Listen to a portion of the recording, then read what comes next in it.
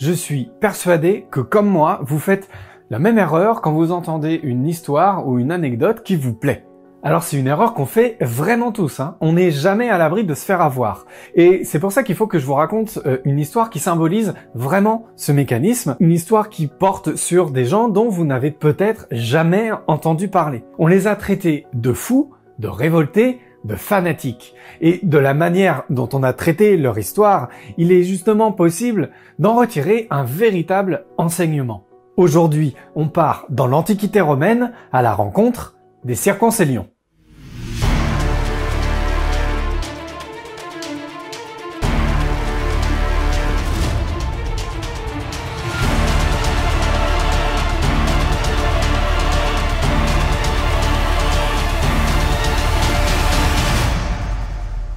Nous sommes au tout début du IVe siècle après Jésus-Christ en Numidie, le nord de l'Algérie actuelle. C'est un territoire sous domination romaine depuis déjà plusieurs siècles. D'ailleurs, Rome est présente en Afrique du Nord depuis près de 500 ans et la destruction de son rival de l'époque, Carthage. Dans les années 300, si vous êtes chrétien dans l'Empire romain, c'est pas forcément la période idéale pour vous. Discrimination, torture, persécution, voilà à peu près ce que vous risquez en fonction des lois du moment. Et justement, c'est l'empereur Dioclétien qui va associer son nom à la persécution la plus longue de l'histoire romaine en 303 après Jésus-Christ. Les églises sont démolies, leurs biens confisqués, les livres sacrés sont brûlés, les évêques arrêtés, et les chrétiens en général sont torturés et massacrés s'ils ne renoncent pas à leur religion. La persécution dure huit longues années et se termine en 311 grâce à l'intervention de l'empereur Galère qui met fin au massacre juste avant de mourir lui-même de maladie. Son successeur, Constantin, sera lui bien plus favorable au christianisme puisqu'il s'y convertira lui-même à la fin de sa vie, ouvrant la voie vers une future religion d'État. Toutes ces persécutions provoquent un traumatisme pour les populations chrétiennes qui sera le terreau parfait pour une révolte aussi bien spirituelle que matérielle. Au lendemain de la persécution, à Carthage, un nouvel évêque est désigné et son élection est sévèrement remise en cause par ses pairs. En gros, il est accusé d'avoir renié sa foi pendant la grande persécution. Et ça, ben ça va provoquer la colère des évêques à tel point qu'il se sépare de l'Église catholique de Rome et provoque le schisme donatiste, une rébellion spirituelle radicale qui s'oppose ouvertement à l'Église catholique et à l'Empire romain. Les donatistes mettent l'accent sur la vertu de la personne et veulent rebaptiser toutes celles qui souhaiteraient les rejoindre. Ils savent que beaucoup de croyants ont rejeté leur foi pour sauver leur vie pendant la grande persécution, et le baptême serait là l'occasion de les laver de ce péché. En revanche, ils accusent l'Église catholique d'être corrompue car elle accueillerait des apostats en son sein. Rome n'est pas épargnée non plus puisque c'est l'Empire qui a lancé la persécution, et en combattant son autorité, les donatistes vont d'ailleurs séduire les populations pour qui les violences romaines sont encore bien fraîches dans les mémoires. À la suite du schisme, s'ensuivent des périodes de procès, les accusant de désobéissance, des périodes d'oppression, où Constantin tente de détruire le nouveau culte, et des moments de répit permettant à l'église donatiste de se développer énormément en Numidie. Tout ça jusqu'à ce que le fils de Constantin, l'empereur Constant Ier, décide en 347 qu'une seule église chrétienne doit exister, une nouvelle répression ciblée sur les donatistes se met en marche, et c'est au beau milieu de ce théâtre sanglant que les circoncélions entrent en scène.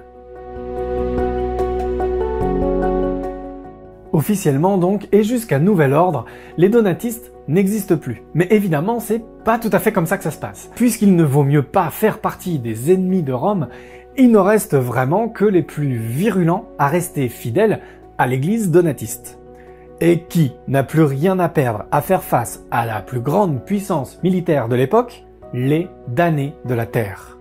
Des ouvriers agricoles, des esclaves en fuite, des berbères, des colons ruinés par les dettes, la frange la plus pauvre de la population constitue l'essentiel des circoncélions. Moi je vais les appeler comme ça, mais entre eux ils se donnaient aussi d'autres noms.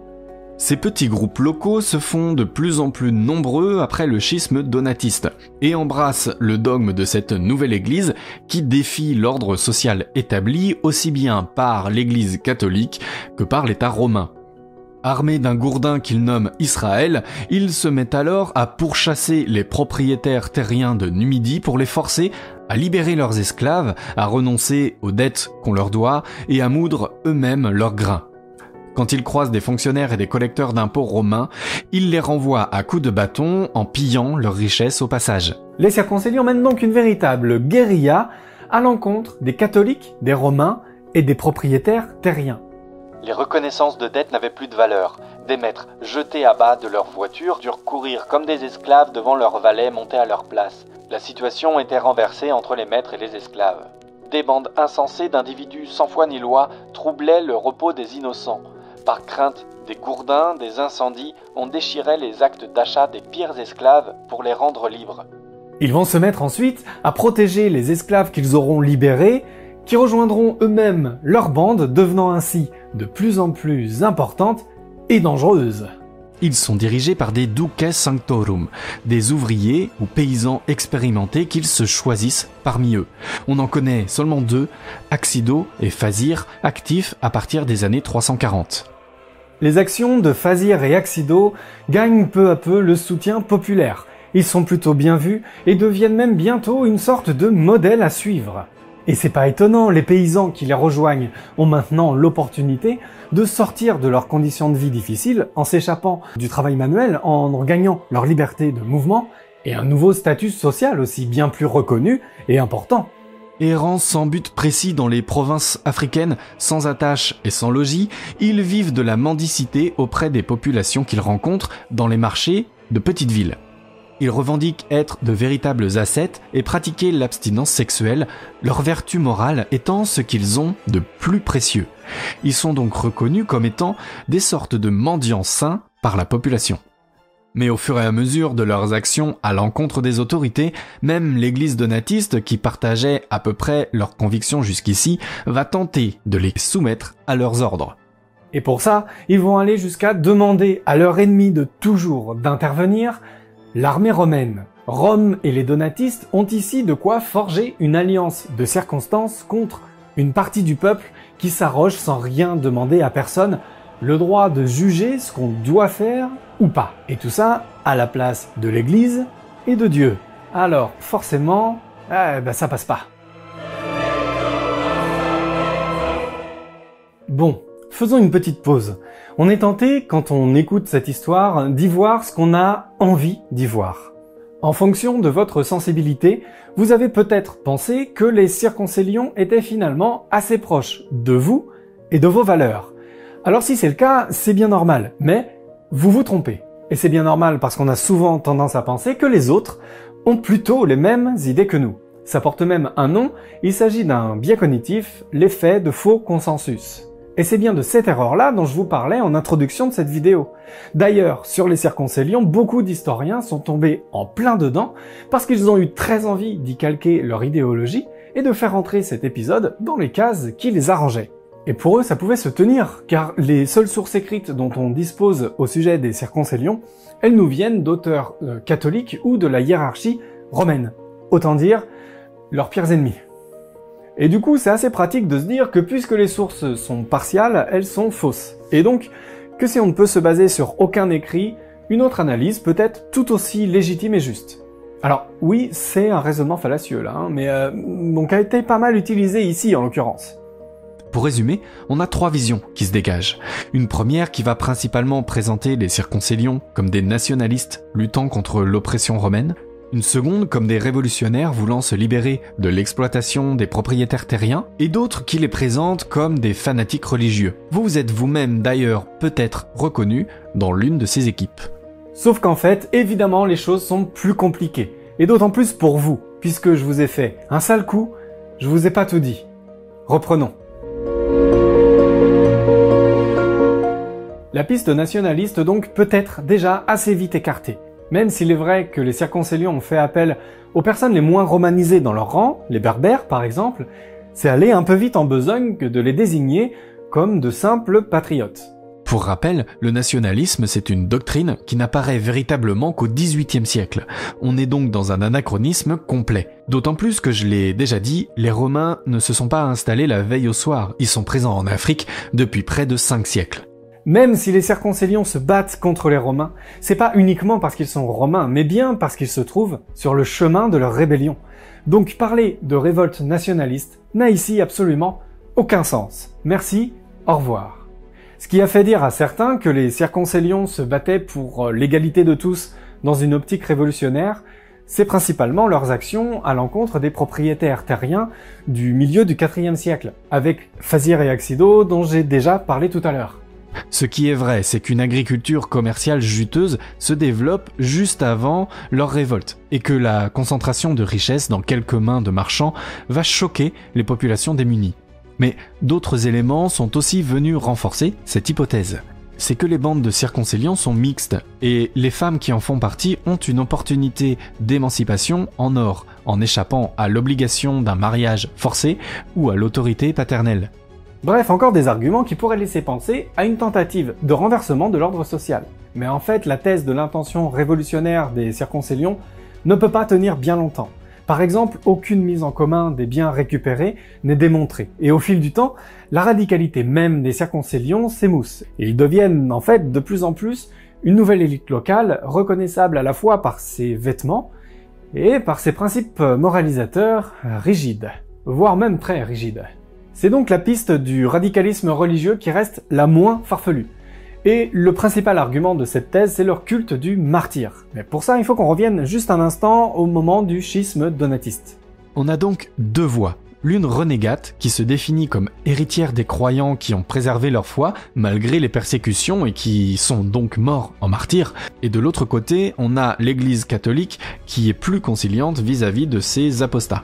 Le culte du martyr, il est hérité de l'histoire même du donatisme que les circoncilions ont repris à leur compte. Ils vont même jusqu'à penser qu'il y avait un nombre de martyrs à atteindre pour que le Christ revienne sur terre, comme une sorte de jauge à remplir. Du coup, on les voyait sauter dans le vide, s'attaquer à des voyageurs qui étaient plus armés qu'eux pour accélérer le retour du Messie. Bon ça, ils vont quand même de moins en moins le faire au fil du temps. Le vrai problème qu'ils posent à l'église donatiste, c'est qu'ils échappent à l'autorité des évêques en se prenant pour des saints et des martyrs. En fait, ils montrent qu'ils se sentent supérieurs aux évêques eux-mêmes en termes de sainteté.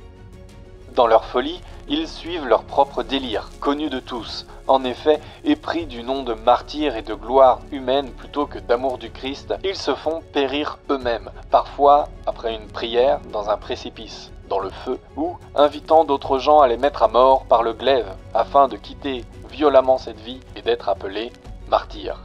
Les circoncilions ne peuvent donc pas vraiment être présentés comme les instigateurs d'une révolte sociale voulant renverser l'ordre établi, mais plutôt comme un groupe de religieux radicaux tentant de moraliser et de limiter les écarts de pouvoir entre maîtres et esclaves, possédants et travailleurs ou évêques et croyants.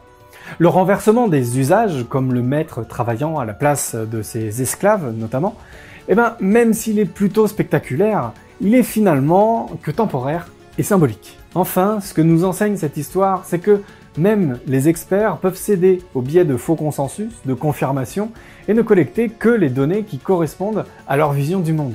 La réalité est évidemment bien plus fine, comme doit l'être notre esprit et notre capacité à nous méfier de nous-mêmes. Et quant à ceux qui se présentent comme étant neutres et objectifs, notre premier réflexe doit être de ne pas d'emblée leur accorder notre confiance. Après une période d'accalmie, au début du 5e siècle, le donatisme est déclaré hérésie par l'Église catholique et son influence régresse rapidement pour s'éteindre peu à peu. Les bandes de circoncilion suivent le même chemin car elles sont pourchassées à leur tour pour être définitivement L'ordre social est rétabli, mais pas pour très longtemps. Les troubles qu'ils ont provoqués ont participé à ébranler l'Empire romain qui sera lui-même achevé quelques décennies plus tard, ouvrant peu à peu la porte au Moyen Âge. Pourtant, le radicalisme des circoncilions ne s'est pas perdu dans l'histoire. Son héritage, comme une graine semée dans une terre trop sèche, restera inféconde pendant plusieurs siècles, jusqu'au moment où viendra l'éclosion, voire l'explosion, d'une révolte encore plus fracassante. Et celle-là influence votre vie encore aujourd'hui.